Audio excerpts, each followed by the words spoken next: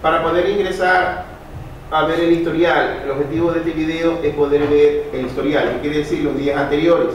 Presiono clic con el botón número 2, con el botón derecho, e ingreso presionando cuatro veces 0 y le pongo Enter. Estando ya dentro de, de la configuración, para poder ir a ver las opciones donde puedo yo ir a buscar, presiono clic con el segundo botón y me voy a donde dice información de evento. Presionando información de evento, escojo la primera opción que es búsqueda, search. En la parte me dice discos duros, porque puedo tener más de disco duro dependiendo del DVR. Selecciono el único disco duro que tienen aquí y voy a disponer de los diferentes tipos de, de canales que yo puedo ir seleccionando y en la parte, por ejemplo, selecciono el canal número 1, 2, etc.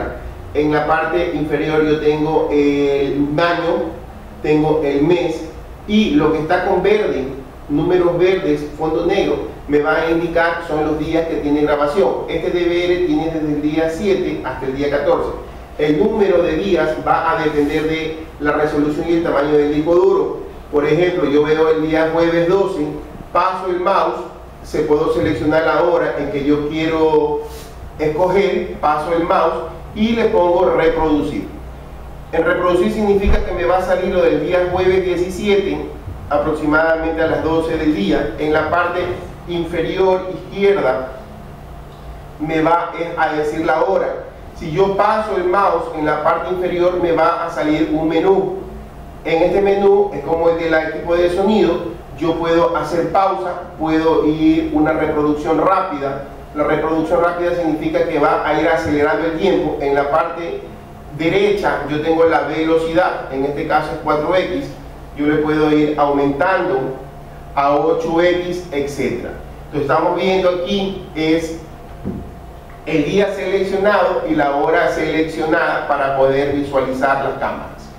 Para poder salir simplemente lo que voy a hacer es darle es parar o detener. Si yo paso el mouse, se me va a activar la, en este caso también puedo yo habilitar una sola imagen haciendo un clic o doble clic. Y lo detengo para retornar con doble clic. Supongamos que yo quiero ver este, hago doble clic, veo en ese día y en esa hora, retorno haciendo doble clic y detengo, detengo con el botón parar, se para la reproducción y me va a mostrar lo que está pasando el día de en este momento, porque ya no tengo en la parte